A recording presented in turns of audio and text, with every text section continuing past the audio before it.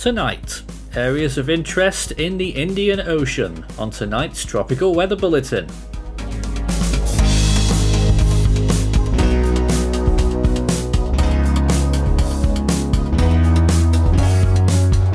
And now the latest around the wide world of tropics.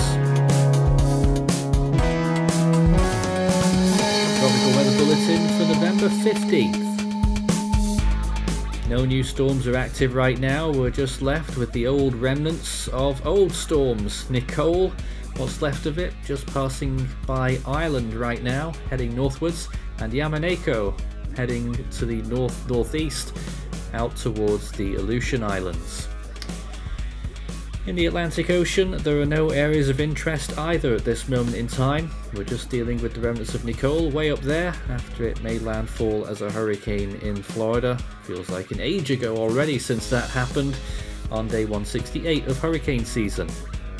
Eastern Pacific similarly quiet with no areas of interest expected in the next five days. Day 185 of hurricane season here. It's had a good run. And we've seen 16 tropical storms, but it doesn't look like we're going to see any more now. Eastern Pacific is pretty much shut down. Western Pacific, Yamaneko heading off into the sunset, off to the northeast, didn't last very long, only about a day or so. Uh, no other areas of interest yet, but we are monitoring a potential system later on in the forecast period towards the Philippine Islands. We'll watch that a little bit later on. Southern Hemisphere, we've got this 40% chance now, area of interest, which will be passing between the Cocos and Christmas Islands um, out in the eastern part of the South Indian Ocean. Um, 40%, so chances are rising. North Indian Ocean, we've also got a 20% there as well. Latest satellite imagery shows us the Atlantic Ocean right now, and you can see how it's looking there. Um, still, we've got a lot of uh, cloudiness, but not much in terms of organized tropical cyclones, and that's the way it's going to stay for the foreseeable, hopefully. Although we could be eyeing down in the southern Caribbean maybe one or two late season activities. Eastern Pacific looking like this as well, quite desolate, just a few storms blowing up in the intertropical convergence zone, but really no signs of proper life there, and it remains dry along the west coast of North America. Western Pacific looking like this. You can see a little bit of rotation possibly, or certainly storms blowing up there in that little disturbance there in the very low latitudes. That could be the thing to watch through the southern Philippines in the next week. We haven't marked it as anything, uh, but it could be a significant rainmaker locally along the Philippine Islands.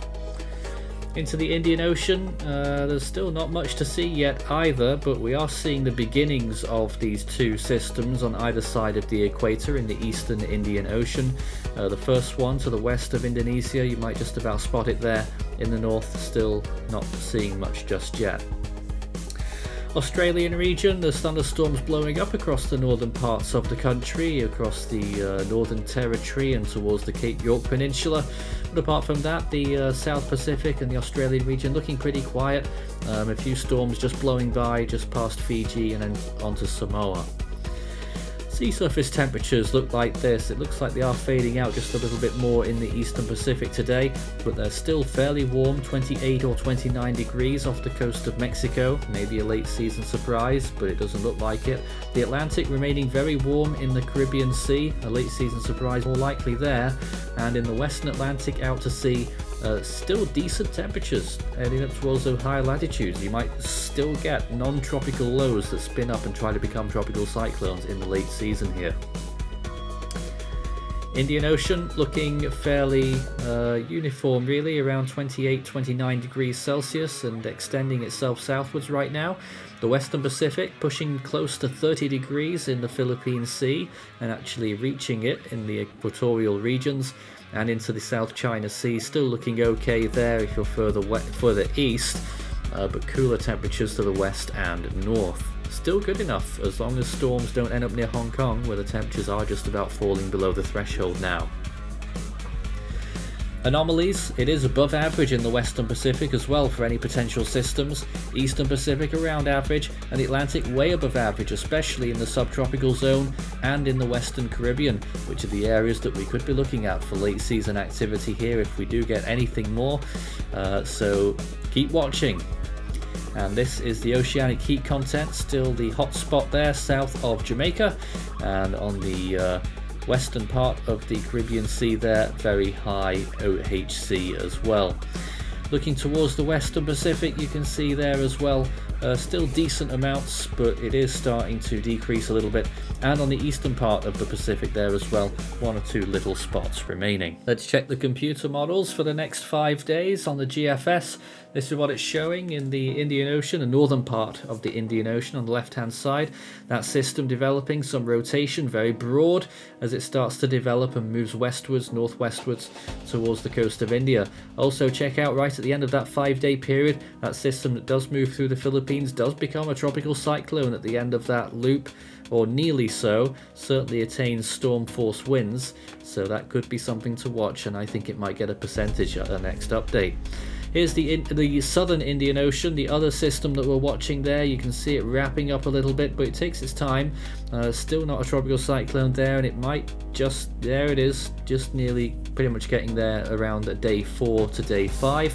That's occurring well to the southwest of Java, Indonesia, and moving out towards open waters mainly. Uh, the Cocos, Keeling Islands, and possibly Christmas Island might get something from this system, although I doubt it will be very much. Also, in the next seven days, we're pointing out the southern Caribbean region where there's some tropical moisture that could cause some very high amounts of rainfall. In this seven day period from the GFS, you can see how it really starts to increase towards the end of that period. Here it comes around about now as the disturbance moves up towards the northwest and will deliver huge amounts of rain, uh, up towards 16, 17 inches there, which is an enormous amount, over 400 millimeters um, in parts of Nicaragua on towards Honduras with decent amounts there as well. Uh, whether this will become a tropical cyclone or not, we'll find out in the next slide when we look at the moderate range.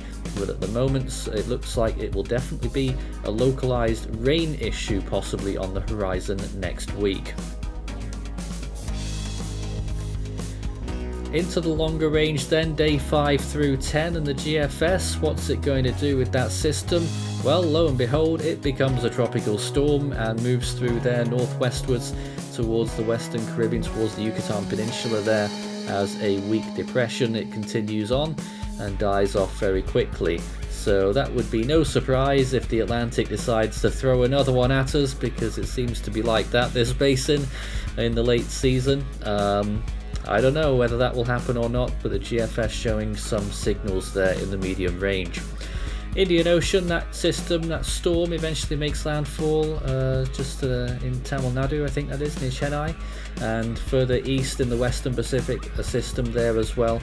Probably a tropical storm that eventually moves into Vietnam. Watch that sequence again, there it is. Well, just about gets enough curvature for a brief tropical storm spin up there before weakening as it reaches the coast of Vietnam. So that will be something to watch in that moderate range and down in the southern hemisphere looking towards the Australian region again watching that system that we were looking at earlier crumble and uh, decompose. And then there's another one that forms uh, just off the coast of Indonesia and potentially becomes another tropical cyclone a very broad one developing right at the end of that 10 day loop there. And watch closely you'll see it actually develops north of that line of islands I know that that sea has a name, I think it's the Flores Sea, and then eventually moves down into the Australian region.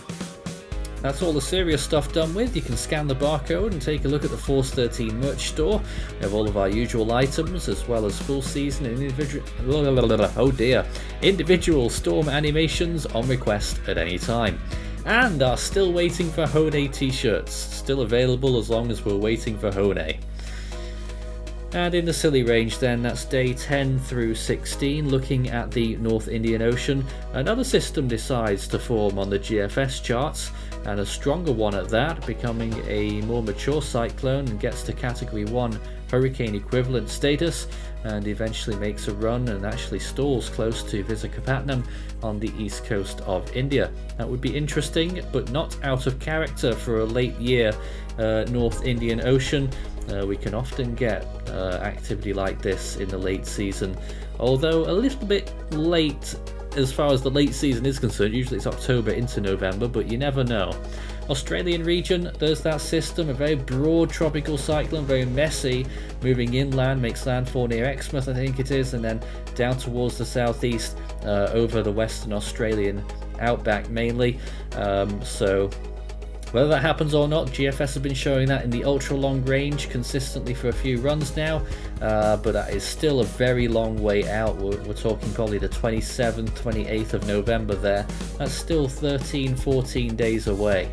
Speaking of 14 days away, Hurricane Week, 13 days away now on the 28th of November and that will have a uh, full week of activities, festivities, and uh, educational moments and documentary pieces, and our charity fundraiser Force for Good on Sunday, December the 4th.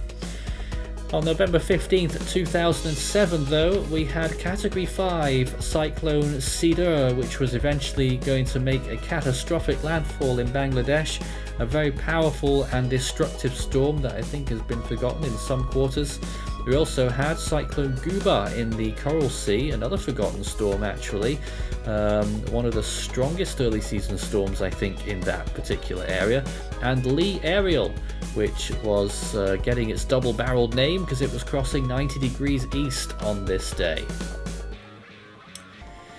Well then, back to this year, and the next name on the Atlantic naming list is Owen. Still a chance we might get it. In the Eastern Pacific, it's Seymour. Vanishingly thin chance we'll see that now. And in the Central Pacific, we are still waiting for Hone. And only goodness only knows what the chances are of seeing that one. In the Western Pacific, the next name is Pakhar, and we'll have to get a new uh, screen of names there.